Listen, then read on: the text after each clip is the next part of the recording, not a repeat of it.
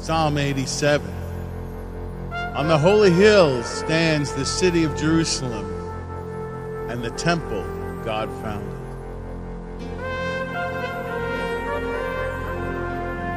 The Lord loves the gates of Zion, through which the crowds of pilgrims enter from all nations, more than all the dwellings of Jacob, Israel.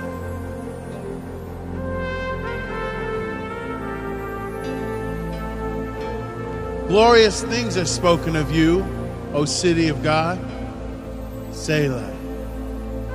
Pause and calmly realize what that means.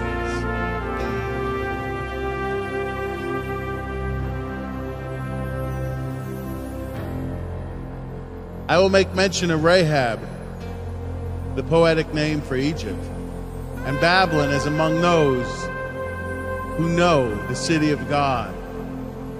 Behold, Philistia and Tyre with Ethiopia, Cush, saying, This man was born there. Yes, of Zion it shall be said, This man and that man were born in her, for the Most High Himself will establish her.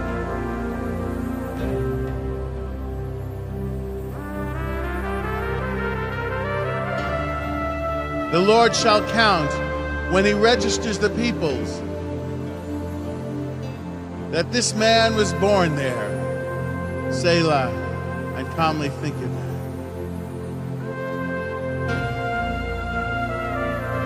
The singers, as well as the players on instruments, shall say, All my springs, my sources of life and joy, are in you, city of our God.